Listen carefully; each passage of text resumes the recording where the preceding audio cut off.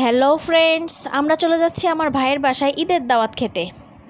আর ওখানে গিয়ে অনেক মজা, অনেক হই হুল্লোড় আর একটা জম্পেশ খানাপিনার আয়োজন করা হয়েছে। আশা করছি সাথে থাকবেন, দেখতে ভুলবেন না।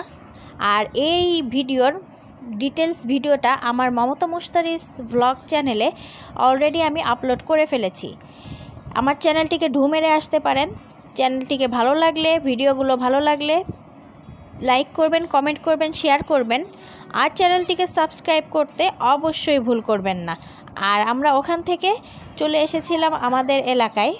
একটা নতুন ক্যাফে হয়েছে সেখানে। সেখানে এসে আমরা আমাদের সন্ধ্যার নাস্তাটা শেষ করে বাড়ির উদ্দেশ্যে রওনা করে ফেলেছি। আজ এ পর্যন্তই। টাটা!